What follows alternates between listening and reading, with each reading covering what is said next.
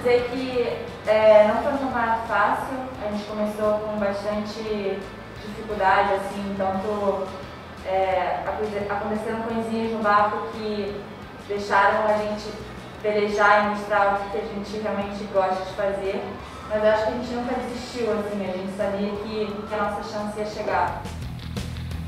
Quando elas ganharam a quarta regata, eu falei, cara, começou. É agora que vai começar a regata. Quando chegou no último dia que elas conseguiram pular do quinto para o segundo lugar, né? E para a primeira, nossa, foi. Mas a gente, a gente tinha essa sensação. Afinal, eu te juro que eu fiquei bem tensa. O Abel esporte que a gente lida muito com as intempéries, né?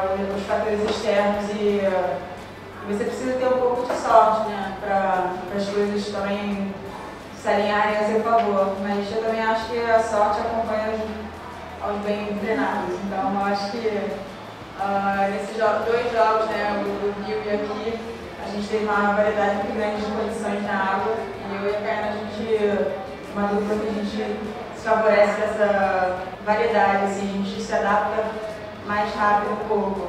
É, eu diria que nossa maior virtude é a resiliência, a capacidade de se adaptar muito rápido a qualquer situação e, além de tudo, é a paixão pelo que a gente faz.